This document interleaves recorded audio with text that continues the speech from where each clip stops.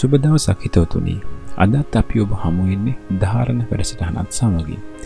ධාරණ වැඩසටහන ලංකාවේ සහ ලෝකයේ සංස්කෘතිය ආගම දර්ශනය සහ කලාව හා බැඳුණු බොහෝ දැනුම් පද්ධතින් විවාධාත්මක මතවාද වාද විවාද පිළිබඳව ඒවගේම අලුතින් කලාවට සංස්කෘතියට දර්ශනයට ලෝකයකතුන දැනුව පිළිබඳව කතා කරන සයිබ අවකාශය. මේ සයිභාවකාශයෙන් ඔබ ගන්නා ඔබ තෝරා ගන්නා සියලු දැනුම තව ඇත් සඟ බෙදාගන්නත් ඒ වගේම මේත් වැඩසරන් මගෙන ලබාගන්න දැන්ම වඩා වැඩිදියුණු කරගන්න ඔබ විසින් කරනු ලබන පර්යේෂණ නිරීක්ෂණ යොදාගන්න ලෙසත් ඉල්ලා සිටින. එහෙමනම් අද වැඩසටහන්ට අපි යොමුයමු.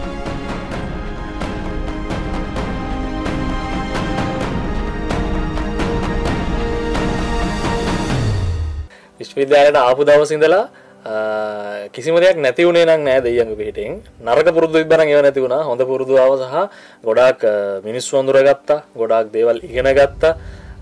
මම හිතනවා මම බැරි වෙලාවක්වත් කැම්පස එකට ආවෙන් නැත්තං ඒ මම ලබාගත්ත දෙවල් ආය වෙන කොහෙන්වත් මම විතරක් නෙමේ වෙන කිසිම කෙනෙක් මෙතන්ට ආව නැත්තං මගේ රිපර්ට්මට කරාව නැත්තං ම කරන විසිත් එක්ක ඒ ලබාගත්ත දෙවල්න්න ආය වෙන කොහෙන්වත් ලබාගන්න කරන්න නෑ. මම ඇත්තම කිව්වොත් අපේ ඉයර් එකේ වැඩිමල්ම ශිෂ්‍යාව මම මේ තැනට එන්ඩ කොඩක් වෙහෙසුනා මම උසස් පෙළ හතර පාරක් කරලා තියෙනවා. මං තේමය විශ්විද්‍යාලට එනකොට අපේ පැක්ටිකල් එක බල්ල මාව තේරුණේ පහතරට නතර නද්දනාශයට හැබැයි මගේ පොඩිකාලන් ආසාව තියෙන උඩරට නර්තන අධ්‍යනාංශය වැඩිදුරටත් ඉගෙන ගන්න. මොකද පාසල් මට්ටමේදී කොහොමත් මම උඩරට නර්තන අධ්‍යනාංශය තමයි ඉගෙන ගත්තේ.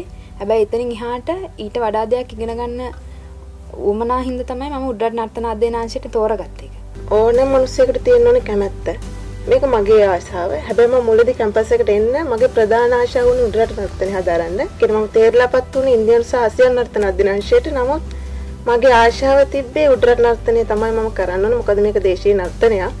හැබැයි මම විශ්වවිද්‍යාලයට ඇතුළත් වෙන්න පෙර ඉන්දියානු සහ ආසියානු නර්තන අධ්‍යනාංශයට අදාළව කරන භරතනාට්‍යම් කියන නර්තන සම්ප්‍රදාය හදාරලා තිබුණා. මගේ ආශාව පොඩ්ඩක් වෙනස් වුණා. මම හිතනවා මම තෝරගත්තේ මගේ ආශාව නිසා තමයි කියලා. කැමරාකරණේ, සංස්කරණේ, ආලෝකකරණේ, රංගවස්ත්‍රාභරණ නිර්මාණකරණේ, අධ්‍යක්ෂණේ ඒ වගේ නම් කරන්න බැරි තරම් විශේෂේෂත්‍රයක් අපි මේ තුළ හදාරනවා. අපි පුළුවන් තරම් වැඩ කරන ඒ වැඩ කරන එක අත්දැකින්ම ලබන්න ඕන. උසස් මට්ටමේ නිර්මාණ ශිල්පියකු බවට පත්වීමට නම් මා තුළ තියෙන උනන්දුව අර කියන විෂය මූලික දැනුමට කවලං විය යුතුයි.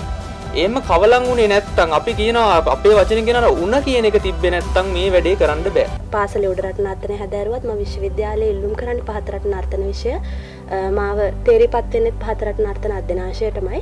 මම පාසලේදී සමස්ස ලංකා තරගයකටවත් පාසලේ වෙනත් ඉදිරිපත් කිරීමකටවත් පහතරට කියන කිසිම දෙයක් මම නටලා තිබෙන හැ කිසිම දෙයක් මම පහතරට නටලා තිබෙන හැ අඩුම මම පහතරට මැන්ඩියටවත් මම නැමිල නැහැ. හැබැයි මගේ හිත හැමතිස්සමකිව පහතරට කරන්න කියලා.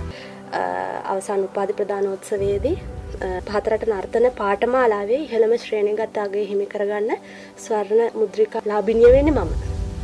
කියන් හරිම සතුටුයි. විශ්වවිද්‍යාල ජීවිතයේ දී මම ලබාගත්ත වරප්‍රසාද බොහෝමයක් තියෙනවා. ඒක ඇත්තරම ලොකු කාලවෙලාවක් යයි මම එම කියන්න කිවොත් මම සෞන්දර කලා විශ්වවිද්‍යාලය විද්‍යාර්ථයක් විදියට එලියට ගිහිල්ලා වැඩ කරනවා. ඒ වැඩ කරද්දී හැමෝම් මා අඳුරගන්න සෞන්දර කලා විශ්වවිද්‍යාල ශිෂ්‍යාවක්. මෙයා මේ මේ කැම්පස් එක සෞන්දරි කැම්පස් එක ළමයි. මෙයා අනිවාරෙන් දක්ෂ වෙන්න ඕනි.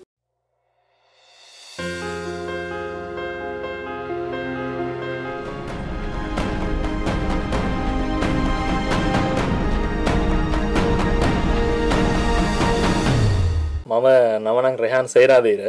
එතකොට සෞන්දර කලා විශ්වවිද්‍යාලයේ තාලවාද්‍ය සංගීත අධ්‍යනාශයෙන් තමයි මම මගේ උපාදය හමාර කරේ. දෙදස් දහ අටේදි තමයි මම මේ කැම්පස් එකින් පාසවට් වනේ මම ඉස්කෝල යන කාලේ දම්ම මේ බෙරගහන් දාසාාවටම නැටුම් කරනට මට නටන්ඩ පුළුවන්කමකට නෙේ අර විසය හදාරන්න ඕන එකත් එක් නැටුම් හැදරුව. එනිසා මට හැකියවත් යම්කිසි මට්ටමකට තියෙනවා කියලා බලනය එක දකි. ඒකත් එක්ක මට ඕමනාව තිබ ඇත්තරම මේ බෙරවාදන දිගට හදාරන්න. බෙරවාදන දිගට හදාරනකොට මොකක්ද මේකට විදිමත් විදිට මේ අධ්‍යනය කරන්න එක් අපට පුළුවන් ගුරුකොලයක් යටතේ සම්ප්‍රදායක ගුරුතුමෙක් යටතේ මේක හදාරගේ අවනද මාණ්ඩ වාදනයකට බෙරවාදනය පිළිබඳ තාලවාදනය පිළිබඳව විශ්විද්‍යාල මට්ටමින් උපාදයක් විදිහට උපාදයක් පිරිනම නේදේ උගන්නල හරි විදිහට නිසියාකාර උගන්නල විදිමත් උගන්නල උපාදයක් දෙන එකම අධ්‍යනාංශයේ තියෙන සෞන්දර්ය කලා විශ්වවිද්‍යාලයේ කියන දේ මම දැනගත්තා. ඉතින් ඒකත් එක්ක මම එතනින් එහා එලෙවල් දිගටම කරේ. මම කවදා හරි තාලවාද්‍ය අධ්‍යනාංශයට යනවාමයි කියන තැන ඉඳගෙන තමයි කරේ. මම හිතනවා මේ හුඟක් වෙලාවට ඒක ප්‍රායෝගික ගැටලුවක් හුඟක් වෙලාවට අපේ ඉන්නවා බෙර වාදනය කරන්න පුළුවන් හුඟක් අපේ නංගිලමල්ලලා මේ හැබැයි ඒගොල්ලන්ට නටන ටික අපහසු ගැන නිගල නටනකොට ඇත දමසාාව මහම ටික් උසයි මට වෙච්චරේද ම උසයි. මේ මන්තේ නටනකොට මට කියන්නේ රහන්තා පාතෙන් රහන්තා පාතෙන් ති ම පාතන කොච්චර පාතන තනිත් අයි පාතනට පස එකගල ම ඒත් උසයි. ඒකත් එක හරි ප්‍රශ්නනට ඉති ඉට පස්න ම බෙරවාදනයට හිල්ල ඒකින් ම ස්කෝකරේ ඒකත් එක්ක මට ඕනේ සඳර කලා විශ්වදයාලට එන්නත් ඕනේ. හැබැයි මට නටන්නට එක කමාරු අනිත්තයට සාපෙක්සු ඉති ම තෝරගත්ත බෙරවාදන මම ඒජී අනුරාධා කල්පනා කුමාරි. මගේ ගම රත්නපුර එරත්න මම පාසල් ගියේ එරත්න මහාවිද්‍යාලය හා කුරුවිට මධ්‍ය මහාවිද්‍යාලය කියන ස්කෝල දෙකේ. මම සෞන්දර්ය කලා විශ්වවිද්‍යාලයේ සබරගම නර්තන අධ්‍යනාංශයේ ශිෂ්‍යාවක්. මම තමයි දෙදස් දහට වර්ෂයේදී සබරගම නර්තන අධ්‍යනාංශයේ වැඩ්ඩිම ලකුණු ලබාගත් ශිෂ්‍යාව ලෙස තේරී මම අදුශාන ගෑශා ඩිලානිද සිල්වා මම රත්නපුරේ මම නර්තන හා නාට්‍ය කලාපීටයේ උඩරට නර්තන අධ්‍යනාංශයේ තමයි ශිෂ්‍යාවක් හැටියට හිටියේ. 2019 වර්ෂයේදී උඩරට නර්තන අධ්‍යනාංශයේ වැඩිම ලකුණු ප්‍රතිශතයක් ලබා ගත්තේ මම.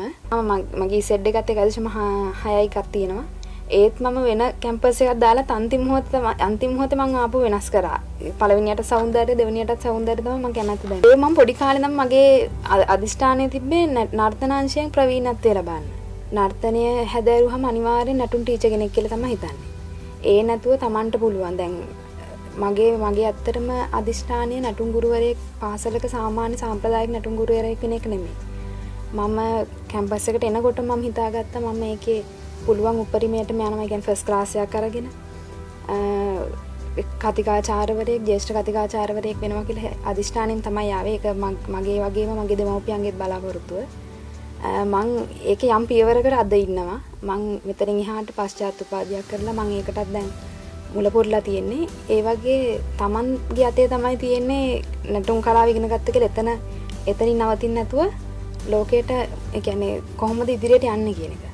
මම චේතනී රත්නයක මම ආවෙන ආරම්භලින්දලා මම දෙදස් දහතුනදා හතර අධ්‍යන වර්ෂයේ තමයි මේ විශ්වවිද්‍යාලයට ඇතුළත්. එතකොට දෙදස් දහතුන දහතර අධ්‍යන වර්ෂයේදී ඉහළම ශ්‍රේණිගතාගේ හිමි කරගත්තු ස්වර්ණ මුද්‍රිකාවට හිමිකම් ලබන්නේ මම.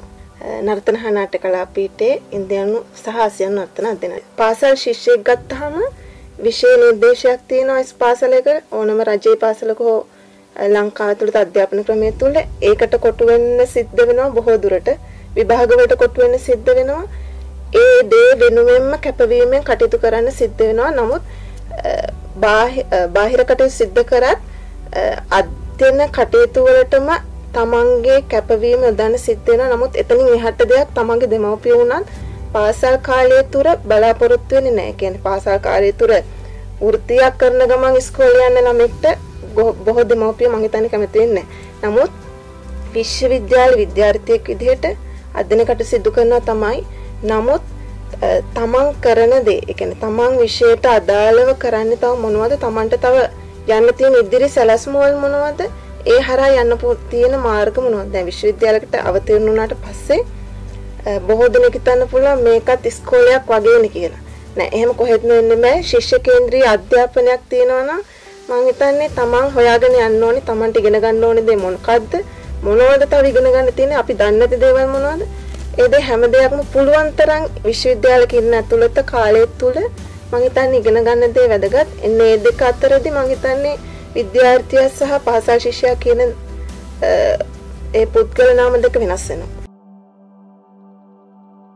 මං කසුනි ගනයවත්ත සෞන්දර කලා විශ්වවිද්‍යාලය විද්‍යාර්ථිනයක්. අවසන් වසරේ විද්‍යාර්ථිනයක් දිර මම කටයුතු කරනවා. මම කසුනි ගනයවත්ත වෙන්නේ විශ්වවිද්‍යාලට ආවට පස්සේ. මගේ නම ගනයවත්තගේ දෝන කසුනි සඳුනිකා.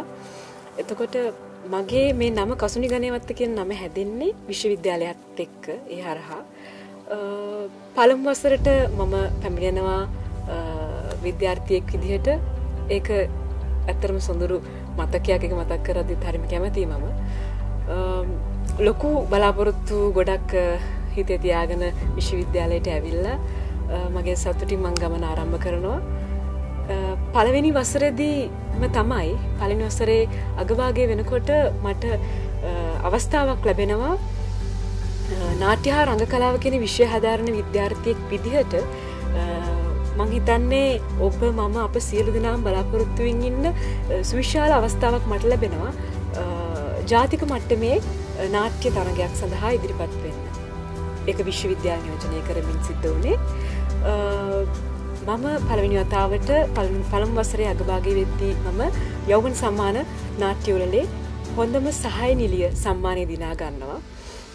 ඒ වගේමයි ඒ වසරේ දෙවැනි වස එකනෙ දෙදස් දාහත වසරදි තම මම මේ ඒ සම්මානය දිනා ගන්නේ දස් දහට වසරේදී රාජ්‍යනාටුල්ලේ හොඳම සහය නිලිය සම්මානයක් මම දිනාගන්නවා. ඒ නාට්‍ය සඳහා. මම දනුෂ්ක සඳරුවන්.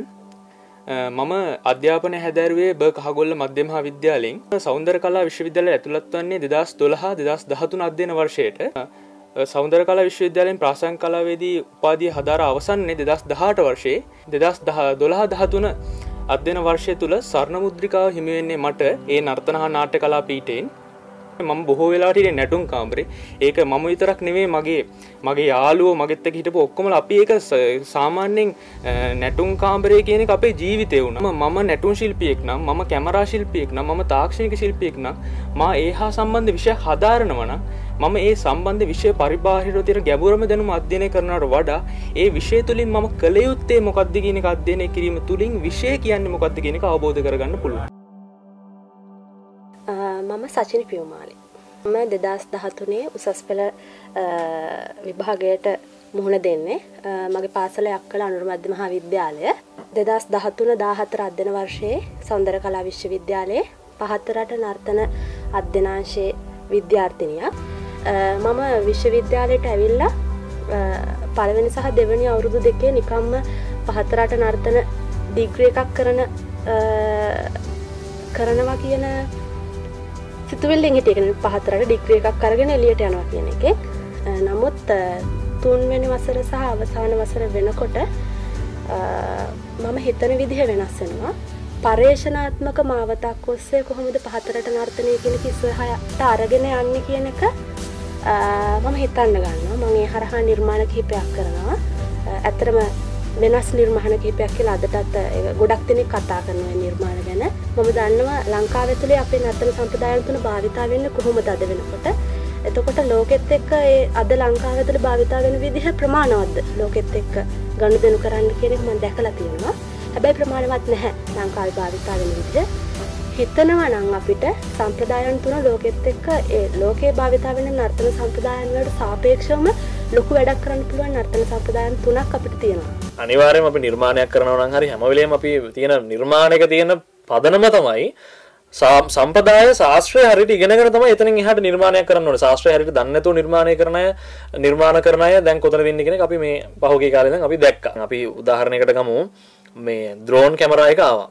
ඩ්‍රෝන් කැමරා එක ආවට පස්සේ මේ හෙලිකොප්ටරේ ඉස්සර හෙලිකොප්ටරේ ගිහිල්ලානේ මේ කැමරා කරේ.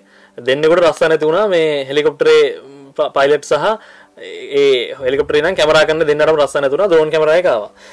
ඉතින් ඒ වගේ මේ අර අපි කාලානුරූපීව හැදුනේ නැත්තම් මේකට පවතින්න බෑ. නැහැ. හැබැයි එතනින් එහාගේ පිරිසක් උදාහරණයක් විදිහට අපි PSR ශිල්පාධිපති අපේ සර් ගත්තොත් එහෙම එතකොට අපේ මේ පොඩි බණ්ඩාරස කරුණාරත්න බණ්ඩාරස ඊට පස්සේ රවිවන්දු විද්‍යාපති මහත්තයා මේ හැමෝම පරම්පරාවෙන් මේ මේ ඒ සම්ප්‍රදාය ඉගෙනගෙන ආපු පිරිස. හැබැයි ඒගොල්ලෝ එතනින් එහාට හිතලා දෙයක් කරපු නිසා තමයි අද ඒගොල්ලෝ පවතින්නේ. ඒගොල්ලෝ ඉස්සරහටත් පවතින්නේ නිසා. සම්ප්‍රදාය තුළ එල්බක සිටියා නම් සම්ප්‍රදායක් නැති වෙනවා. අර මිනිස්සුත් එක්ක සම්පූර්ණ මේ වාදනයක් නැතිරෙන හැබැයි නිර්මාණය කරමින් සම්ප්‍රදාය පවත්වා ගැනීම තුළ තමයි මේ මේ මුළු කලාවම පැවැත්ම තියෙන ගැන කලාව නැත්තං මනුස්්‍යය තුළ මනුස්සකමක් නෑ කියන එක තමයි මා විශ්වාස කරන්නේ. මනුස්සෙක් කියන්නේ යන්ත්‍ර සූත්‍ර ගොඩනගන රොබෝලා ඒ වගේ ඉන්න ජාතියක් නෙවෙයි. මනුස්සෙක් වුණහම කලාව කියන එක නිතතින්ම ඇගේ තියෙනවා. අනිත් අනිත් විෂයන් වගේම ලංකාවේ නර්තනය උපාධයක් වශයෙන් කෙරෙන හින්ද තමා බුද්ධිමත් ලෙස නර්තනය කියන්නේ මොකක්ද කියලා සමාජයට දෙන්නේ. ඉගෙනීමක් නැතුව සාමාන්‍ය විදිහට නර්තනය ඉගෙනගෙන එය මුළු සමාජයටම ගෙන යන්න බෑ කියලා තමයි මම විශ්වාස කරන්නේ. ඒ අවශ්‍ය තැනදී අවශ්‍ය ලෙස නිසියාකාරව නිර්මාණය කොට ඉදිරිපත් කරන නර්තනයක් ලෙස තමයි අපි සබරගමු නර්තන සම්ප්‍රදාය දකින්නේ. මොකද නර්තන සම්ප්‍රදායන් තුනක් තියෙන උඩට පහතරට සබරගමු කියලා අපේ ලංකාවේ ප්‍රධාන නර්තන සම්ප්‍රදායන් තුන. ඒ සම්ප්‍රදායන් තුනෙන් පැරණිතම නර්තන සම්ප්‍රදාය ලෙස අපි දකින්නේ සබරගමු නර්තන සම්ප්‍රදාය.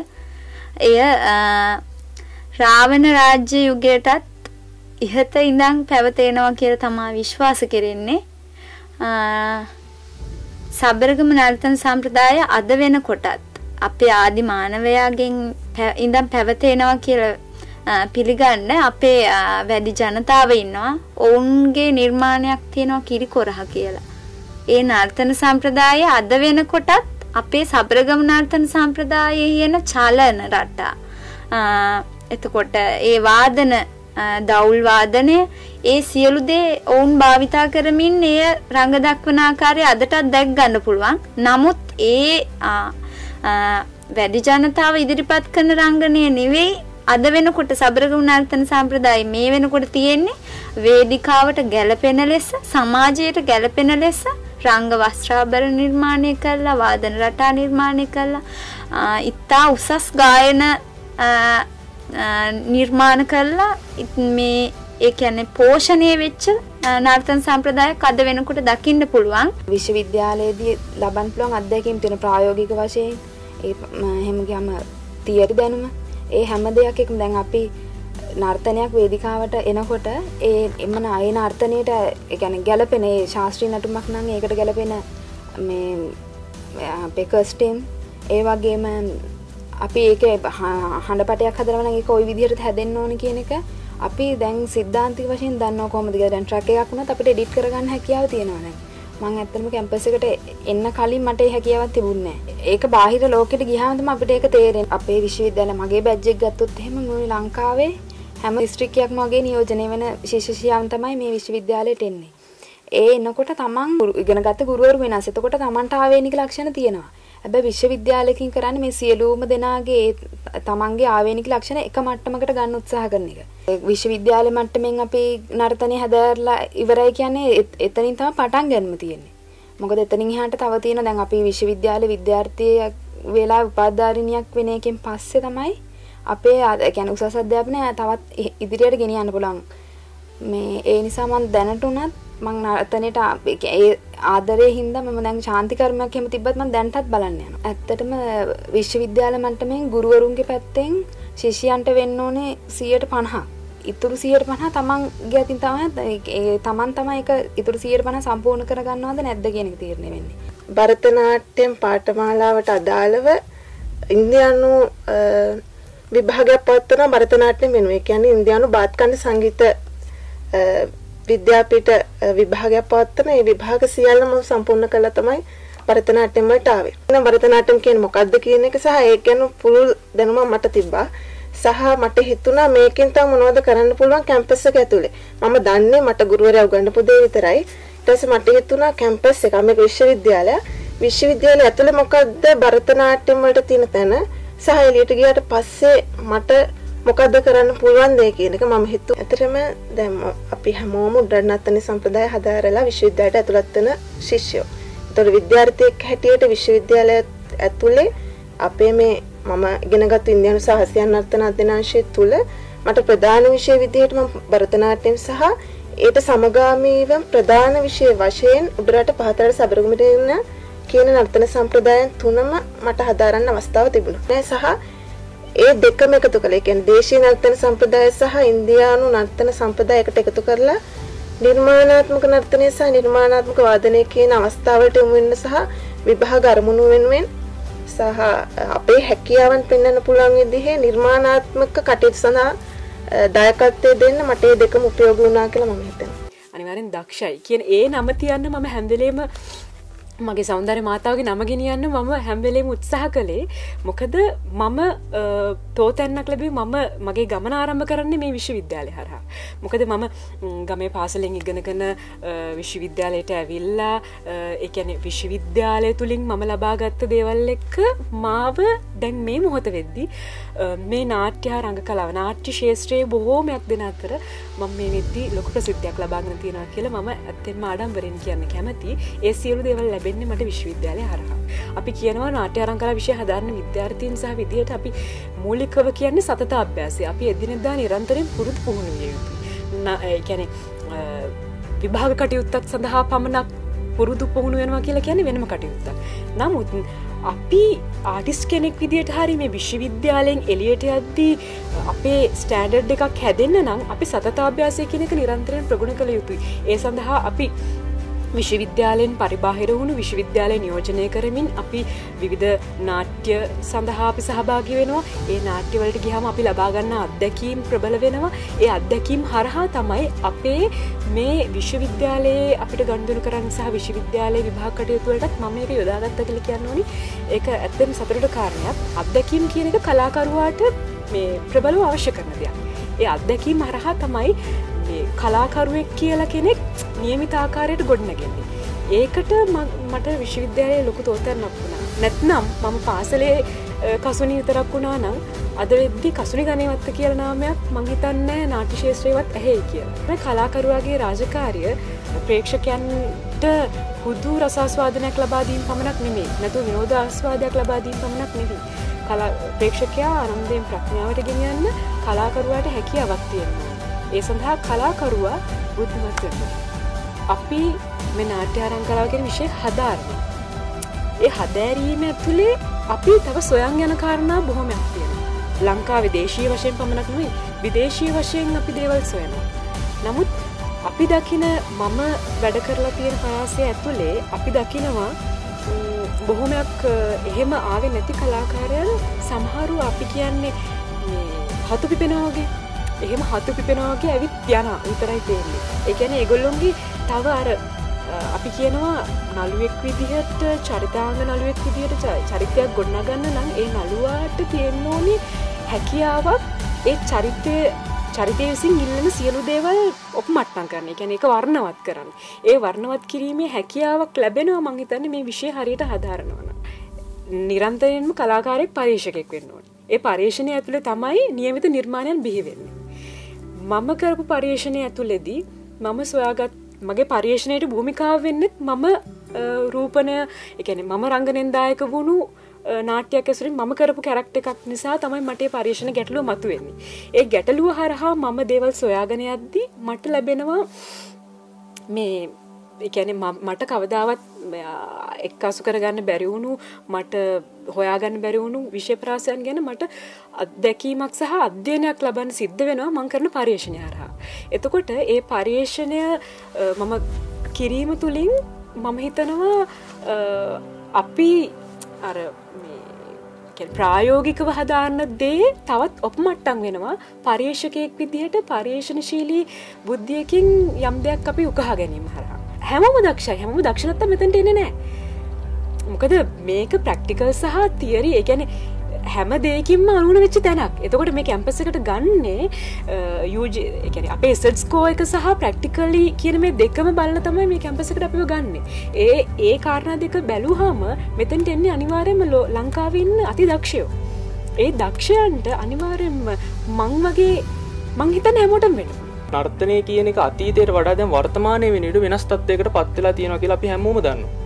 එතකොට වර්තමානය තුළ තාක්ෂණය අනිවාර්ය මේ ශේත්‍රය තුළ ගැබ්බෙලා තියෙනවා. සෞන්දර කලා විශ්වවිද්‍යාලට එන ඕනම කෙනෙක් මුලින්ම හිතන්නේ උඩරට පහතරට සබරගුම් විතරක් මේක හදාරන්න පුළුවන් ආවට පස්සේ මේක සාම්ප්‍රදායක නර්තනය විතර ඉගෙන ගන්න පුළුවන්නේ අපේ විශ්වවිද්‍යාලේ අපිට පුළුවන් ආවට අපේ තියෙන නර්තන රංග කලා ඉතිහාසය සිද්ධාන්ත අධ්‍යනාශිකල අධ්‍යනාශය ඒ තියෙන නර්තන නාට්‍ය කලා පීටේ ඒකෙදි අපිට කියල දෙනවා කොහොමද කොහොමද නර්තන ශිල්පියෙක් සාම්ප්‍රදායක නර්තනය නිර්මාණාත්මක නර්තනය වේදිකාවට ගැලපෙනවරින් කැමරාවට ගැලපෙනවරින් නව වෘතිය ප්‍රවේශයක් කරගෙන යන්නේ කොහොමද කියනක නමුත් මෙතෙන්ට එන ටාගට්ටර් කලින් ම ගුරුරෙක් නොකල හිතන්ගෙන කියෙන අපාධ්‍යනාශයට පැමිණීම තුළින් ඒ ටාගට් සයට වෙනස් කරගන්න පුළුව උදාහරණ විදිර එයා නර්තන ශිල්පයක් වෙන්නත් පුළුව එයා කැමර ශිල්පයක් වෙන්නත් පුළුව සමහරක්කට සංස්කන ශිල්පයක් වෙන්නත් පුළුව ඒ වගේ යට වෘතිය ප්‍රවේශ කිහිපයක් හම්මෙන සමහරක් කියලාවට එයාට ඒ කියන ශේෂ්ත්‍රන් තුනම තියන්න පුලන ඊට අමතර කිය ශේෂ්ත්‍රන් වැඩිපුර ප්‍රමාණයක් තියන්න පුල එතකොට එයාගේ ශිෂ්‍ය විසි නැත විද්‍යාර්ථය විසින් අවබෝධ කරගන්න ඕනි මා විසින් තෝරගත යුත්තේ කුමක්ද? මාගේ විෂය පතේ මොකද මායන ශේත්‍රය කුමක්ද කියන රූප මාධ්‍ය සඳහා නර්තන නිර්මාණ කරණය කියල ගන්න රූප මාධ්‍ය කියන මොකක්ද සහදැක් සාමාන්‍යෙන් අපි හිතනන් වේදිකාවක නර්තන රූපගත කරනවා සහ කැමරා විදිරි රූපගත කරන ආකාරය වෙනස්. දැන් උදාහරණයක් විදිහට උඩර නර්තන සම්ප්‍රදායතින් නැටුම පහතර නර්තන සම්ප්‍රදායතින් නැටුම සබරගම නර්තන සම්ප්‍රදායතින් නැටුම හෝ ඒවා නිර්මාණාත්මක ශේත්‍රයතින් නැටුමක් හෝ ඒවා. ඒවා සිදු කරන යම් අර්ථයක් පාදක කරගෙන කියලා අපි හිතමු. ඒ අර්ථයක් පාදක කරගෙන ඒවා නිර්මාණය වෙනවා නම් ඒ වගේ කෝනයක් කොහොමද නිර්මාණය කරගන්න? කොහොමද ප්‍රේක්ෂක මේ දැකිය යුත්තේ? ඒ වෙලා ප්‍රේක්ෂක දැකිය යුතු හොඳම කෝනය කොමක්ද කියන අවබෝධය අප විද්‍යාර්ථීන් සතු වෙනවා. අපි නිර්මාණාත්මක නර්තන ඕන තරම් රූපවාහිනය තුළ අන්තර්ජාලය තුළ රස විඳිනවා. ඒ රස විඳින තුළ ඒ නිර්මාණයේ දැන් කැමරා ශිල්පියෙක් ඒ කැමරා කරනවා කියලා අපි හිතමුකෝ. එතකොට කැමරා කරනකොට ඒ නිර්මාණ ශිල්පියා හෝ කැමරා ශිල්පියයි හරියටම නර්තනය සම්බන්ධයෙන් අවබෝධයක් තියෙන කෙනෙක්. දැන් උදාහරණයක් විදිහට මගේ අදහස මම තමයි මේකේ නිර්මාණ ශිල්පියා කියලා අපි හිතමු. නමුත් කැමරා කරන කෙනාට නර්තනය සම්බන්ධයෙන් අවබෝධයක් නැත. එතකොට ඒකෙදි සිද්ධ වෙන්නේ මගේ තියෙන සියුම් අදහස් කැමරාව හරහා ගොඩනගා ගැනීමට ඒ අවශ්‍ය සංකල්ප ශිල්පියට බැරි වෙන දැන් අපේ අධ්‍යනාශය තුළින් බිහිවෙන විද්‍යාර්ථයකු උඩරට පහතරට සබරගමු ආදී විධ නර්ත සම්ප්‍රදයන් හදාරනවා සේම ඒකට තාක්ෂණයක් ගලපන්න බොහෝසයෙන් යුසුලු ඉගෙන ගන්න රූපමාධ සඳනත රචනය ඩිජිටල් සිනමා ජනස්ෘති වැනි පාටමාලාවලදී අපි ඉගෙන ගන්නවා එව කොහොමද හසුරුවන්නේ කියන එක. උදාහරණයකිද රූපමාධ නර්ත රචනයද අපි ඉගෙන ගන්නවා. කියන පදනම් වර්ෂය සිට දෙවන තෙවන සිව්වන ඔවුන්ගේ අවසාන උපාදි වසර දක්වාම ඉගෙන ගන්නවා උඩරට පහතරට සබරගමුණු කියන විෂයන් ශේෂත්‍රයේ ශාස්ත්‍රිය දැනුම. ඒ දැනුම සහ නිර්මාණාත්මක ශේත්‍රය දැනුමත් අවබෝධ කරගන්න. ඇත්තරම මම පාසලින් මේ විශ්වවිද්‍යාලයට නොකලකු අවබෝධයක් තිබෙනෑ. නමුත් මා මේ විෂය ඉගෙන ගන්නකොට මම උඩරට නර්තන ශිල්පී මගේ ප්‍රධාන අභිප්‍රයෝඩ උඩරට නර්තය හදාරණක. මා මේ විශ්වවිද්‍යලට මේ අධ්‍යනාශයට ආවට පස්සේ ඒ සියලු සංකල්පයන් මා තුළ වෙනස් වුණා. පාසල් අධ්‍යාපන රටාවයි විශ්වවිද්‍යාලය අපි අධ්‍යාපන රටාවයි දෙවිදිහක්. පාසලේ අපි හුරු කරන්නේ යම්කි සෙගුරුවරෙක් ඇවිල යම්කිසි දෙයක් කියනවා අපි ඒකට අවනත වෙනවා අපි ඒක පිළිගන්නවා අපි ඒක තර්ක කරන්නේ නැහැ. අපි ඉස්මුදුනම පිළිගන්න මේක තමා හරි කියලා. නමුත් විශ්වවිද්‍යාලය අපි ඔම්මු කරන්නේ අපිට දෙනව දෙයක්. අපි බලන්න ඕන එක ඇත්තද බොරුද අපි කොහොම දෙක පාවිච්චි කරන්නේ අපිට මේක වැඩක් තියෙනවාද නැත්නම් මේකෙන් අපිට වැඩක් කරන්න පුළුවන්ද කියන විශ්වවිද්‍යාලය හරහා තමයි ලැබෙන්නේ. එතකොට විශ්වවිද්‍යාලයට එන ළමා දැන් විශ්වවිද්‍යාලයට එන ළමයෙක් නෙමෙයි විද්‍යාර්ථියෙක්. එතකොට විශ්වවිද්‍යාලයට එන විද්‍යාර්ථිය හරහා තමයි තීරණය වෙන්නේ මේක කොහොමද ලෝකයට යන්නේ කියන එක. ලංකාවේ නර්තන සම්ප්‍රදායන් කොහොමද ලෝකයේත් එක්ක ගලප්පවන්නේ කියන එක තීරණය වෙන්නේ විශ්වවිද්‍යාලය මත නෙමෙයි විද්‍යාර්ථියා මතයි ඒක තීරණය වෙන්නේ. හැම නර්තන සම්ප්‍රදායකම තියෙනවා ලොකු විෂය කරුණු ටිකක් වගේම ලොකු නිර්මාණාත්මක නර්තනය කියන එකට යන්න පුළුවන් ටෙක්නික්ස් භාවිතාවන හැම ලංකාවිතින හැම නර්තන සම්ප්‍රදායකම. එතකොට එකක් උසස් එකක් පහත් කියන්න බෑ. එක මිනිස්සු බලන විදිහ. ගැන පුරුදු වෙලා තියෙන විදිහ දකින විදිහ ව්‍යාප්ත වෙලා තියෙන විදිහට අනුව තමා ඒ වගේ අර්ථකතන දෙන්නේ. මාතරරංග ශෛලය බෙන්තර සියනෑ සහ රයිගරු කියන නර්ත ශෛලින් හතරටම අපි නර්තනය කරනවා. එතකොට අපිව හිර කරන්න නෑ කිසිම ගුරුකුලයකට මම දැන් මේ මෙරවාදනය කිරීමත් එක් පිවිධ කණ්ඩායම එක් ම ලංකායි කණ්ඩායම් ගණනාවක් එක වැඩ කරනම පෞද්ගලික එම වැඩ කරනකොට මම ගියා චීනේ සංචාරකටික දෙදස් දහනමේදී චෙන්ඩු ජාත්‍යන්තර මේ සංගීත උලල ෆෙස්ටිවල් එක. අපි ගියාට පස්සේ මේ එක රටවල් තිස් හතරක් කණ්ඩෑම් හැට හැටක් හෝ හැට පහක් මට මත විදියට. ඒ ඒ හැම කණ්ඩායමක් අතරින්ම ඒ හැම රටක් මතරින් අපේ කණ්ඩායම ශ්‍රී ලංකාවේ කණ්ඩායම තමයි මේ අපි කියන්නේ ස්කෝ කරේ කියලා. අපි මුලින්ම ගිය දවසේ අපි ගණන් ගන්න ශ්‍රී ලංකාව ගොඩවසේ කවුරුත් දන්නෙත් නෑ මොකද්ද ශ්‍රී ලංකාව කියන්නේ කොහෙද කියලා අහනවා. හැබැයි දෙවෙනි දවසේ අපි පළවෙනි ෂෝ එක තිබ්බේ අපි ගියාට පස්සේ තුන්වෙනි දවසේ විතර. තුන්වෙනි දවසේ අපි ෂෝ එක කරාට පස්සේ හැමෝම එනවා අපි හොයාගෙන මේ කවුද මේගොල්ලෝ කියලා හොයාගෙන මම ශ්‍රී ලංකාව කොහෙද ශ්‍රී ලංකාව ඉන්නේ කියලා හොයාගෙන ආවිලා අපිට කතා කරනවා. කොටින්ම කියනවා මේ ඇත්තම කියන්නේ අත්සන් පව අපෙන් ගත්තා. ඒ කියන්නේ ලංකාවටත් වඩා ජාත්‍යන්තරය තමයි මේකට ඉල්ලුමක් තියෙන්නේ. සහ ජාත්‍යන්තරයට යන්න පුළුවන් ලේසිම විදිහනේ අපේ විදිහ. අපි කොච්චර විදේශය බෙර අපි වාදනය කරනවා. මක බෙර ගැන අපි කතාව විදේශ බෙර කොච්චර අපි වාදනය කරත් අපිට ඒවයි එලියට යන්න අමාරුවනේ ඔබ ඒ වාදනය කරන එළිය ඕන තරම් පිරිස ඉන්නවා. පිටරට ඕන තරම් ඉන්නවා. අපිට කිට් එකක් ගහනවා නම් ඩ්‍රම්ස් ගන්න ඕන තරම් ඇමරිකාව එංගලන්ත බටහිර රටවල මිනිස්සු ඉන්නවා. හැබැයි අපේ බෙරයක් ගහන්න ඉන්නේ ලංකාවේ මේ අපි විතරයි. සාමාන්‍යයෙන් අපි කැම්පස් එකට එනකොට එක බෙරයක් තමයි හුඟක් වෙලාවට වාදනය කරන්නේ හුඟක් වෙලාවට පහතරට බෙරේ ගහුවනම් පහතරට බෙරේ විතරයි. උඩරට බෙරේ ගහුවනම් උඩරට බෙරේ විතරයි. දවුල ගහුවනම් දවුල විතරයි. හැබැයි මේකට ආවට පස්සේ අපේ ඩිපාර්ට්මන්ට් එකට ආවට පස්සේ මේ සම්පදාන සම්පදායන් තුනේ තුනයි. දවුල් එතකොට මේ මේ තම්මැට්ටන් දවුල් කියලා කිව්වොත් සබරකම දවුල් උඩරට දවුල් දෙකම අපි උගන්වනවා. ඒකෝර අපි ජීවිතේටවත් අල්ලන්නවත් අපිට හම්බෙන්නේ නැහැ හුඟක් වෙලාවට මුදංගම් එකක් බකාවාජ් එකක්. අපි සමානට අහලවත් නැති බොහෝ වෙලාවට. හැබැයි මේ දේවල් වල මූලිකාංග අපිට අඳුර ගන්න පුළුවන් වෙනවා. මේවා වාදනය කරන්නේ කොහොමද? මේවා තාල පද්ධතිය ගැන අපිට අධ්‍යයනය කරන්න පුළුවන්. ඒ තාල පද්ධතිය ගැන මේ මේ ඉන්දියානු තාල පද්ධතිය අධ්‍යයනය කරා කියලා කියන්නේ නිර්මාණකරණය කියන එක අපේ ලංකාවේ වලට ඒක ඇඩ් කරගත්තට පස්සේ ඒක මේ මේ නිකම් සුප පව එකක් ලබනවා කිය දෙයක්. වෙස්ටන් රම්ස් ඉට පස්සේ පකාවාච තබ්ලා මුදංගම එතකට අපේ මද්දල් තම්මැට්ටන් දවල් ගැටපෙර පහතරට පෙර ඔය සියල්ලම එක ආයතනයක එක විදිරු ගන්නන ලංකාව වෙන කිසිම ආයතනයක් නෑ. ඒ නිසා ඒ හැමදේම ඉගෙන ගන්නවා කියලා කියන්නේ එතනින් හොය අපි කතා කරන මාකට් එක හදා ගන්නවා කියන එක සර හරි සරල දෙයක්. දැන් අපේ ලංකාවේ ඇතුළේ යන සිස්ටම් එකනේ අපි දන්නවා සාමාන්‍යයෙන් ඉන්දියාව වගේ රටකට ගත්තොත් එහෙම එක ආටිස් කෙනෙකුට දැන් තබ්ලා ප්ලේ කරන කෙනෙක් නම් එයාට තබ්ලා ප්ලේ කරොත් එයාට ඕන තරම් වැඩ තියෙනවා. ඒ ඒ රටේ සංගීතයත් එක්ක එයාට මාකට් එකක් තියෙනවා. හැබැයි මේ අපේ ලංකාව ඇතුළේ එහෙම බෑ. ලංකාව තුළ එක ආටිස් කෙනෙකුට ටැලන්ට් ගණනාවක් තියෙනවා. එයා මල්ටි ආටිස් කෙනෙක් වෙන්න ඕනේ. එයාට පැවැත්මක් තියෙන්න. ඒ මල්ටි ආටිස් කෙනෙක් වෙන්න පුළුවන් තැන තමයි මෙතන. මේ එන නංගිල මල්ලිලට මම උපදේශයක් විදිහට මේ කතාව කියන්නේ. ඇතුළට ආවට පස්සේ කරන්න ඕනේ මෙච්චරයි. සරලම දේ. මම කියන්න මේමයි මම මම හැමලේම කතා කරන්න මට සාපෙක්ෂවනේ මම කරපු දේ මම කියන්නකෝ. නංගි මල්ලි ඔයගොල්ලෝ ඉගෙන ගන්නකොට මේ එක්සෑම් එකට විතරක් ඉගෙන ගන්න එපා. අපේ ආවහම හුඟක් අයට වෙන වැඩේ තමයි එක්ෂෑම් එක්ෂෑම් එක්ෂෑම් එක්ෂෑම් එකටම විතරක්. වෙන්න කිසිම දෙයක් අතපත ගන්න මංකිවන ලංකාව ඇතුලේ ගේමක් ගහන්න ඕන්න ආටිස් කෙනෙක් වෙන්ඩ ඕන්න එයා මල්ටි රන්ට ආටිස් කෙනෙක් විය යුතු නැත්තන් යට පැවත්මක් නෑ.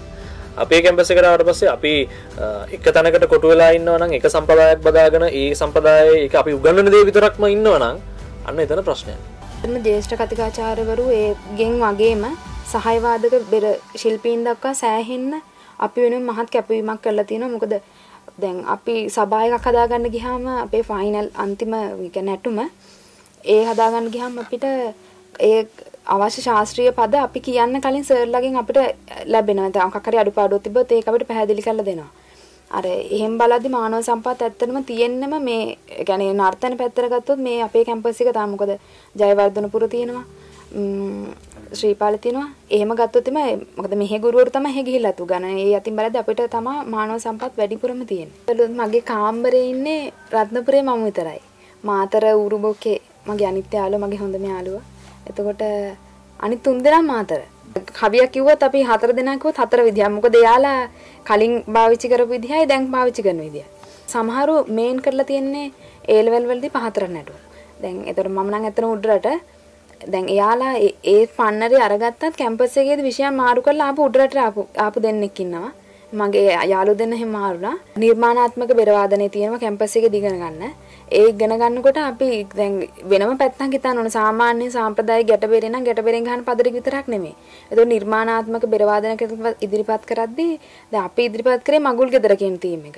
එතකොට දැන් අපේ යාළුව තමයි සමහරලාට කිව්වේ මෙන්න මේ දැන් පෝරුවට නගින එකකදී මේ වගේ වාදනයක් කරමු. අපි සමහරවිට බෙර බෙරෙන් නැතුව අපි මේ කියන්නේ ස්වභාවික දේවල් වලින් හඬ උපදවා ගන්නත් අපි මේ කියන්නේ ශබ්ද නිපදවා ගන්න මේ ඒ නටුබන ගැලපෙන විදිහට අපි යොදාගත්තා. ඒ ඒ දේවල් අපි ඒ කියන්නේ ඉගෙන ගත්තේ මගේ යාළුවන්ගේ.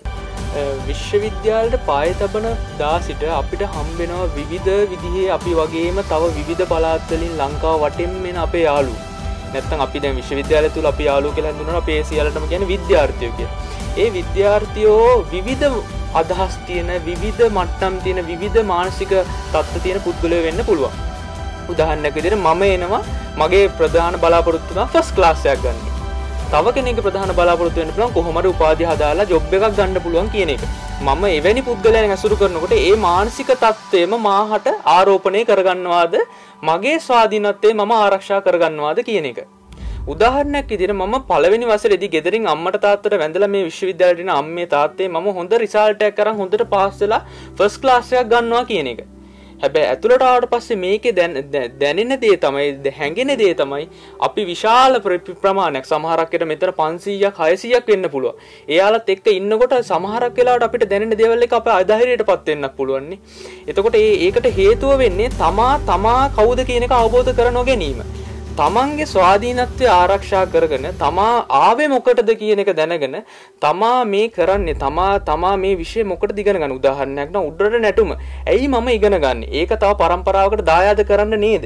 එතකොට මම හරියට ඒ දේ ඉගෙන ගන්න ඕනේ. දැන් උදාහරණයක් විදිහට මම රූප මාධ්‍ය සඳහන් අර්ථන රචන ඉගෙන ගන්නවා නම් අනිවාර්යයෙන් මේක නව නව අලුතින්ම ඉගෙන ගන්න විෂයක්. එතකොට ඒ විෂය උදාහරණයක් විදිහට කියනවා නම් ඒ විෂය ඉගෙන ගන්න කෙනා ඒ විෂයට තියෙන අවධානය අඩු කරමින් විවිධ වෙන වෙන විෂයන් ශේෂත්‍රවට යොමුුවෙන් උත්සාහකරොත් ඒ අධ්‍යයන කාලය තුළ සහ ඔහුගේ ප්‍රායෝගික කාලය තුළ ඔහුට ඔහුගේ අවසම් ප්‍රතිඵලය නැති කරගන්න වෙනවා. මටත් කැම්පසකට ආරම් කාල මටදන මං නැටුම් කරලා මංමොකක්ද කරන්න කියලා. ඇරමන් විශ්වවිද්‍යායට එන්න කලින් මම හිතුවා කැම්පස් එකට ආපු හම විශ්වවිද්‍යාලයෙන් උපාධයක් ලබාගත්තහම රැකියාවක් නිසකෙන්ම අපට හැදනවා කියලා මම හිතාගෙන හිටේ විශ්වවිද්‍යාලයට ඇතුළත්වීමට කලින්. හැබැයි ආවට පස්සේ මට හිතුණා නෑ මේක අපි එන්න කලින් හිතන්න ඕනේ. මොකද්ද අපි කරන විෂයත් එක්ක කොහොමද? අපි අවුට් වුණාට පස්සේ මොකද්ද කරන්නේ? කියන එක. ගැන. අවුරුදු 3ක් අකණ්ඩව මේ පාඨමාලා හදාරුවට පස්සේ මම අද වෙනකොට භරතනාට්‍යම උගන්වනවා විෂයක් විදිහට අමතර පන්ති වශයෙන්. සහ මම මේ වෙනකොට තූර්ය කාන්තා තාලවාද්‍ය වුන්දේ සහ නර්තන කණ්ඩායමේ ප්‍රධාන නර්තන ශිල්පිනී විදිහට කටයුතු කරන අතර ඒ හරහා මට නර්තන නිර්මාණය කියන්නේ ඉන්දියානු නර්තන ඇසුරෙන් නර්තන නිර්මාණ කරන්න මට මේ වෙනකොට අවස්ථාව ලැබිලා තියෙනවා. මේ වෙනකොට රටවල් රැසක ජාත්‍යන්තර ප්‍රසංග සහ තරඟාවලි වලට සහභාගී වෙලා තියෙනවා. නර්තන ය පැත්තෙන් සහ වාදනය පැත්තෙන් අපි તો සිංගප්පූරුව, ඉන්දියාව, තායිවානයේ ඒ වගේ රටවල සංචාරය කරලා තියෙනවා සහ ඒ ලබාගත්තු අත්දැකීම් මං හිතන්නේ විශ්වවිද්‍යාලයක් ඇතුළත ඉන්න විද්‍යාර්ථියෙකුට අධ්‍යයන කටයුතු අතරතුරදී මොන බාධක ආවත් අපිට හෙට එක්සෑම් එකක් තිබ්බත් අපි කලින් දවසේ ඒ කියන්නේ ඒ ටුවර් එක ගිහිල්ලා ඇවිල්ලා පහවදා මේන් එක කරපු ඒ කියන්නේ අපේ ප්‍රධාන විෂය කරපු අවස්ථා අපිට තිබ්බා. තමන් හදාගන්න ඕනේ තමන්ට අනන්‍යතාවයක්. මං හිතන්නේ කලාකාරයාට තමා සමාජයේ තියෙන දේවල් අනිත් මිනිස්සුන්ටත් පේනවා. හැබැයි ඒවා පෙරලා නැවත සමාජයට පෙන්වන්න පුළුවන් කලාකාරයාට. අන්න ඒකයි විය යුත්තේ. රැල්ලට හෝ එහෙම නැත්නම් විනෝදාශ්වාදය වගේ දේවල් තියට වද නර්තනය භාවිතාවෙන් ඇත්තට මේකට. නමුත් ඒකත් එක්ක කොහොමද සමාජ ශෝධනය කරන්නේ කියන එක තමා කලාකාරණය විදිහට කරන්නේ සමාජ ශෝධනය තමා කලාකාරය කලාකාරණයගේ වගකීම සහයුතුක මගේ ගමන තෝරගන්නේ නර්තන ශිල්පිනයක් ඩාන්ස කෙනෙක් විදිහට. හැබැයි මම මේ වෙනකොට පර්කෂනිස්ට් කෙනෙක් තලවාදන ශිල්පිනිය ඒ හරහා මට අවස්ථාව ලැබෙනවා ජාත්‍යන්තර වේදිකාවල දක්ෂ ජනප්‍රිය ඩාන්සර්ස්ල වගේම පර්පෂනිස්ල එක්ක වැඩ කරන්න. තකොට ඒක මගේ ජීවිතය මම ලබපු ලොකුම භාග්‍යයක්. ඒක තමයි තාලවාද ඩිපර්ට්මන්ට්ගේ තාලවාද අධ්‍යනශ වෙනස. අපේ උඩට නටු ගන්න පහතර නටුම ගන්න සබරගම නටු ගන්න එතට නාට්‍ය රංග කලාව ගන්න ම නාට්‍ය රංග කලාගෙන ගතර සම එකත් වැඩ කරනවාද වෙනකට? ඒ සම්බඳ දෙවල්ලත් ඇත්ත. මේ එතකට බෙරවාදන ගතර පසු මං අර කලින් කියපු ඩ්‍රම් මුදංගම් පක්වාජ් තබ්ලා ගැටබෙර පහතරට බෙර දවල් තම්මැට්ටන් ඔයි සියල්ලම මේ එක ඩිපාර්ට්මන්ට් එක උගන්නන්නේ මේ ඩිපාර්ට්මන්ට් එක විතරයි. ඒ නිසා තමයි බයනතෝ කියන්නේ එක ඒ ඒකත් එක්ක මම කියන්නේ එහෙම එක සම්ප්‍රදායක් බදාගෙන හෝ එක්සෑම් එකට විතරක් විභාගයට විතරක් ඉගෙන ගන්නරන් එපා. එතනින් එහා තව ගොඩාක් දේවල් තියෙනවා. මේක මේ මේ මේ තාප්ප වලින් එහාට මේ කෞතුකාගාරයෙන් එහා පැත්තේ නිරම්පුරට එහා පැත්තේ ජෝන්ද සිල්ලායකට එහා පැත්තේ මාර ලෝකයක් මම කිවනේ එක්ෂෑම එකට විතර ඉගෙන ගන්න බැහැ කියලා. එක්ෂෑම එකට විතර ඉගෙන ගන්නවා නම් අපිට අපිට ගුරු ගන්න දේවල් ඇති. සබරකම දවල්වාදන උදාහරණයකට ගත්තොත් එහෙම දවල්වාදනය තාමත් මේ මේ එලියට ඇවිල් ඒ පොඩි අඩුගතියක් දකිනවන එක ඒ සිල්පීන් තුළම තියෙනවා. එතකොට එහෙම තියෙනකොට ඒ ඒක ගුරු සම්ප්‍රදායක ගුරුකුලවලින්ම ඉගෙනගෙන එන අපේ යාලු අපිට හමුණට පස්ස අපිට ඒගොල්ලන්ගේ අහගන්න පුළුවන්. ම සරලව කියන්න අතිසේ සරලෝ කියන්නේ. මේ එහෙම ඉගෙන ගන්න පුළුවන් වුණාට පස්සේ ඒක අන්න එතනින් එහාට යනවා. එළියට යනවා. එළියට එනවා කියන්නේ ඒකට පැවැත්මක් තියෙනවා. ඒ එක උදාහරණයක්. එතකොට අපි මා දැන් අපි පහතරට වාද මේ නර්තන කලාව ගත්තොත් එහෙම බෙර වාදනය ගත්තොත් එහෙම මාතර ශෛලියක් තියෙනවා. බෙන්තර රයිගම ඔය ආදී වශයෙන් තියෙනවානේ. දැන් අපේ කැම්පස් එකේ ඔය හැමතැනම අපු මිනිස්සු ඉන්නවා.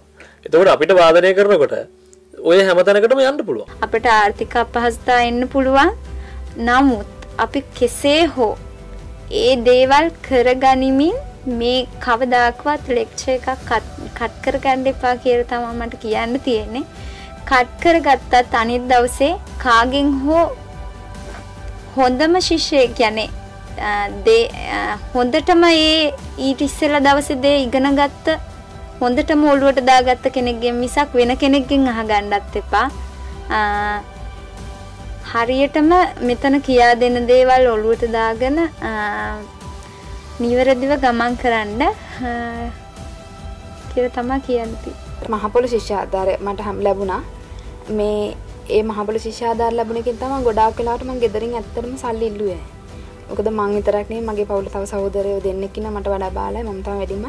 එතකොට මම මට ගොඩක් වෙලාට ආර්ථික ප්‍රශ්න මොකද අපි දන්නවා ඩාන්සින් කරන්න ගියොත් කස්ටියම් වලට වීදන් යනවා ගෲප් වර්ක් තියෙනවා එතකොට ඒ වගේ වීදන් යනවා ඒ ගොඩක් දේවල් කරගන්න මම ඇත්තටම මම නර්තනයම තමයි මම ඒකට ඒ ආදාය මාර්ගයක් කරගත්තේ මොකද අපේ අපිට එක එක අවස්ථා කැම්පස් එකෙන් ලැබුණා නිදහස් උත්සවය සඳහා කියන්නේ නර්තනයන් ඉදිරිපත් කර අපිට ඒ වගේ අපිට ආර්ථික පැත්ත ඇත්තම අපේ ශක්තිමත් වුණා අපිට මුදල් ලැබුණා කැම්පස් එකෙන්. ඒ වගේ මම මගේ පෞද්ගලික නර්තන කණ්ඩායමක් තිබ්බා. ඒ මයි කැම්පස් එකේ ලෙක්චර්ස් පාඩු කරගන්නතු මම ඒ දේවල් වලට සහභාගී වුණා. එතකොට ඒ ඒ ඒ ආර්ථික පැත්ත වගේ මං කැම්පස් එකේ සමහරලාට ලෙක්චර්ස් පාඩුනත් මම ඒක පස්සේ අල්ලගන්න ඒ කියන්නේ කොහොම හරි යාළුවෙක්ගෙන් හරි අහගන්නවා එහෙම බැරි වුණ පාඩමක් තිබ්බොත් නැත්නම් වෙන පන්තියකට හරි ඒ කියන්නේ අපේ ABCD කියලා ක්ලාස් තිබ්බනේ ඒකෙන් මම ඒ පන්තියේ මගේ ඩීඩි අංක 8 මං වෙන ක්ලාසයකට ගිහිල්ලා හරි මං ඒ දේ කොහොම හරි සම්පූර්ණ කරගන්න. ඇත්තටම කොළඹ ජීවිතේ ටිකක් අමාරුයි. ටිකක් නෙමෙයි ගොඩක් දුෂ්කරයි. අපි ගෙවල් වල ඉඳලා මෙහෙට ඇවිල්ලා මුල් කාල සීමාවිදි හැමෝම නිකන් කරගවල ඇතැරිය වගේ වෙන්න. අපි හිතන අනේ ගෙදර යන්න දැන්මෑ දැන් මේක කවදයිවර වේද. ඒ වගේ හිතෙන්න පුළුවන්. හැබැයි කවදාවත් එතන එතන නවතින්න එපා ඒ තීරණය ගන්න නම් එපා. මොකද ඒ තීරණය ගත්තොත් ඔයගොල්ලෝ ගන්න ජීවිතය ගන්න වැරදිම තීරණය තමයි ඒක. මොකද මේ මං හිතන්නේ ඒ දුෂ්කරතාවය අපි විඳින්න ඕනේ. විඳවන එක නෙමෙයි ඒක විඳින්න ඕනේ. ඒ දුෂ්කරතාවයන් මැතින් ඔගොල්ලෝ ලස්සන්න ජීවිතය ගෙවුත් මංහිතන්නේ සාර්ථක වෙනවා අනිවාරෙන්ම ඔගොලට මුදල් අපහස්ථා තියෙන පුළුවන්. එක්කෝ ජීවත්වෙද්දී කෑමබීම ගන්න සහ කෑමබීම විසිආකාරව ලැබෙන්නේ නැති වෙන්න පුළුවන්. එකන ගෙදර හිට පරිසරට සම්පූර්ණය වෙනස්. මෙතන ගොඩක් වෙනස්. එතකොට ඔගොලොන්ට සිද්ධ වෙනවා මේ පරිසරයට හැඩගැහෙන් එන පළමුවස්සර සමස්ත ප්‍රායෝගික විෂයන් සඳහා ඊළම ලකුණු ලබා ගැනීම වෙනුවෙන් මට ස්ටීවන් හැන්සන් ශිෂ්‍යත්වය හිමි වුණා. සහ තෙවන වසර අධ්‍යයන වර්ෂයේදී සියලුම එයත් සමස්ත ප්‍රායෝගික විෂයන් සඳහා ඉහළම සාමර්ථ්‍ය ලබා ගැනීම වෙනුවෙන් මයිකල් ඒමස් ශිෂ්‍යත්වය සහ රංජන් අබේසිංහ ශිෂ්‍යත්වය හිමි වුණා. සහ අවසන් වසර සියලුම ප්‍රායෝගික සහ සිද්ධාන්ත විෂයන් සඳහා ඉහළම ශ්‍රේණිගත අගේ හිමි කර ගැනීම වෙනුවෙන් තමයි මට දෙදස් දවතුන් දාහතරත් දෙන වශය ස්වර්ණ මුද්දිකාවට හිමිකම් කියන්න පුළුවන්. සහ ඒ දේවල් සහ ඊට අමතර මම අර කියපු මගේ බාහිර ක්‍රියාකාරකම් කටයුතු තුළින් මම උපයාගත්ත දේවල් තුළින් තමයි මම ඒ අත්දින කටයුතු සඳහා මම මුල්ල මේ වශයෙන් මගේ අඩුපාඩුකම් සපුරා ගත්තේ. මේටික කරා හරි ලෙක්චස් ලෙක්චසාාව එක ලියා ගත්තා හරි එච්චරයි. ප්‍රක්ටිකල් තිබුණනායක ප්‍රක්ටිකල් සේෂන් එකත් කර. එතනින් ගියා කැම්පසෙන් ගිය. අටටාව අය පාටිිය අටටාව පාටිිය එහෙම ගියොත් කවදහත් මංහිතන්නෑ මෙතනින් එලියට අඩීතියන පුළුවන්ුවේ කියලා. ඒකට අපි අපේ දක්ෂතා පෙන්වන්න ඕන. ඒක හදාගන්නවන මංහිතන්නේ උනන්දුව තියෙනවන කරන්න බැරි දෙයක් නෑ තමන්ගේ කැපවීම සහ තමන්ගේ ටැලන්ටක පෙන්න්න ඒ ටැලන්ටක පෙන්නුවොත් තමයි අනිත් කෙනා තමන්ව ගන්නේ. අතට. අරගෙන හරි දාල බලනවා. මෙයා ස්ටේජ් එකේ කොහොමද පොෆෝම් කරන්න? ආහරි එය ඇතන් සූටබල් නම්? එයයි ගමන ඉට පස්සයා හදාගන්න. මංහිතන් රූපන ශිල්පියම් හදාගන්න. අධ්‍යක්ෂකවරයෙක් වුණත් එමයි අපේ විෂය කාණ්ඩ තුළ තියෙන අධ්‍යක් රූප නාට රචනය සහ අධ්‍යක්ෂණය කියලා. ඒවගේම තියෙන මුද්‍රනාට්‍යංශය තියෙනවා. ඒ දෙකටත් මම දෙන මගේ අදහස වෙන්නේ ඒකයි. අපි ඉගෙන ගන්න කාල සීමාව ඇතුළේ මම කියන්න කැමති අපි හැමෝම අපේ ප්‍රධාන ෆෝකස එක දෙන්න ඕනි. මේන් ෆෝකස එක තියාගන්න ඕනි අපේ අධ්‍යයන කටයුතු සඳහා. සහ ඔබ විද්‍යාර්ථයක් විදිහට දැනගන්න ඕනි මේ අධ්‍යාපන කටයුතු වලට සමගාමී අනෙක් සියලු දේවල්. අපි කරන නාටි ශේෂත්‍රය වැඩ හෝ වේවා ඒ සියලු දේවල් සමාන බවකින් සමබරව මේ ගෙනියන්න. උපාධයක් අරගෙන එලියට යන නැට්ටුවෙකුයි සාමාන්‍ය නැට්ටුව අතර පැහැදිලිම වෙනසක් තියෙනවා.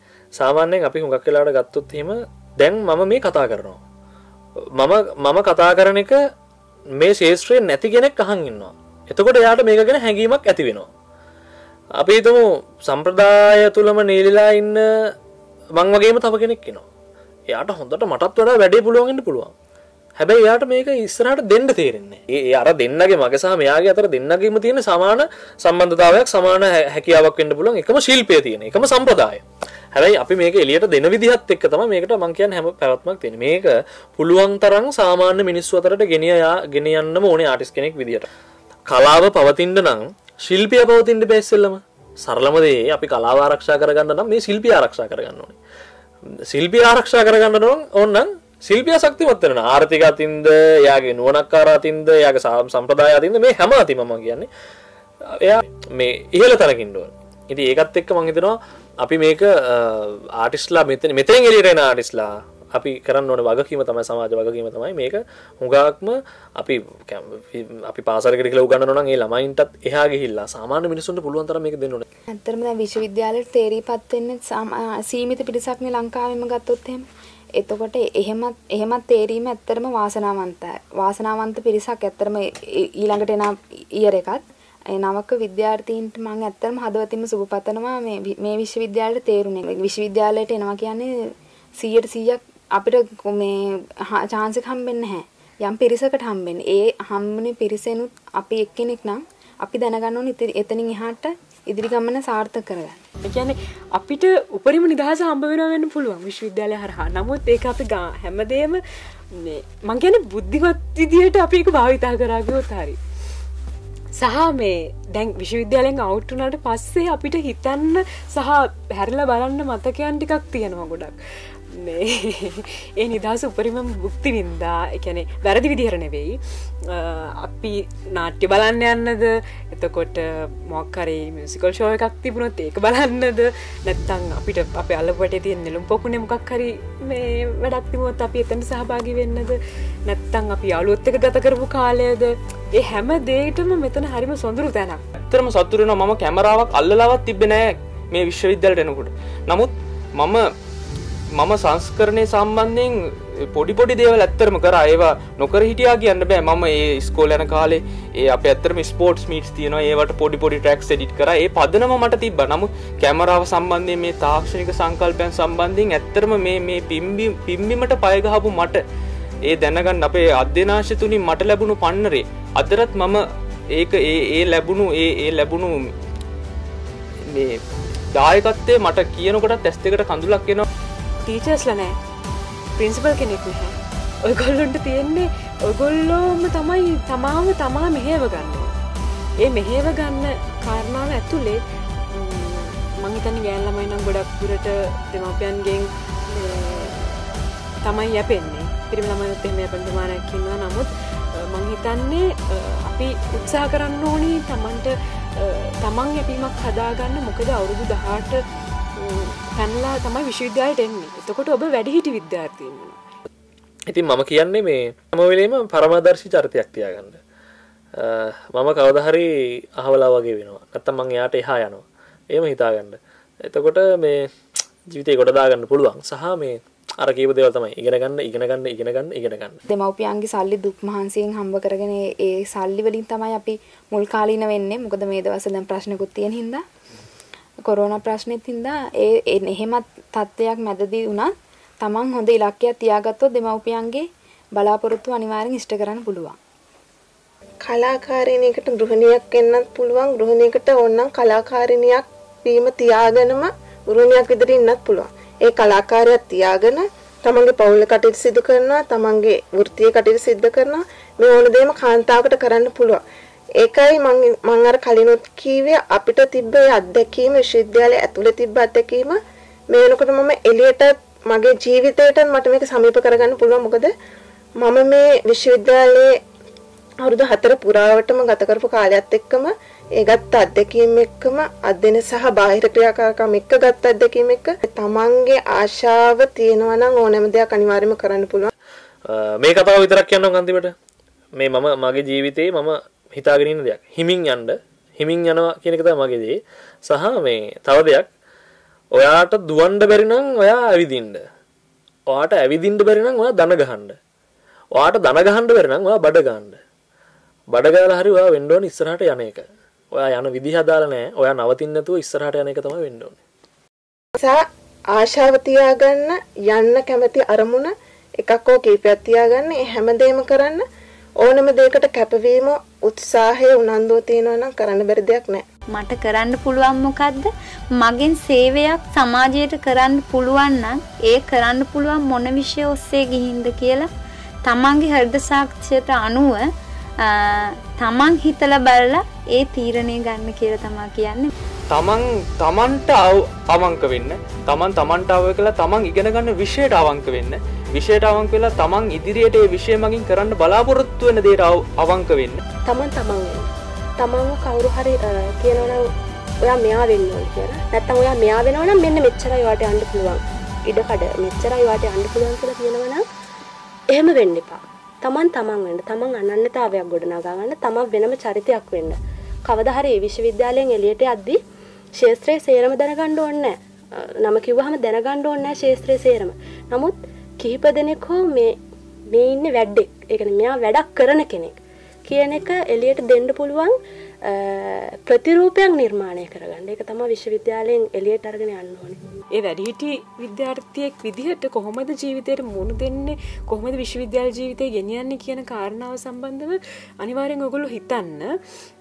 ඒකයි මම කියන්න ඔගොල්ලොන්ගේ ටැලන්ස් පෙන්න්න ඔගොල්ලොන්ගේ වැඩ ඕගොල්ලෝ මේ විශ්වවිද්‍යාලයට ඇවිල්ලා හැංගිලයින් එක නෙමේ ඒ ටැලන්ස් පෙන්නලා ඔයගොල්ලෝ ඔගොල්ලොන්ගේ තැනක් හදාගන්න. ආටිස්ට් කෙනෙක් කියන නම ගෙනියන්න පියවරෙන් පියවර පියවරෙන් පියවර අඩිය තියන්න.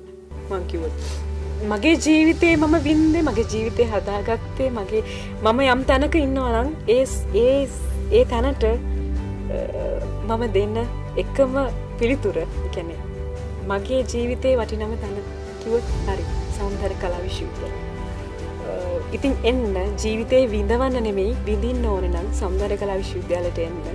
ඔබේ ජීවිතය ඔබ ඔය ඉන්න තැනින් අඩි ගානක් එස වෙලා තිී මෙන්න තැන. ආවන හොඳර ගෙනගන්න පුළුවන් ජීවිතය ගොඩදාගන්න පුළුවන්. ගැටියම කිවේ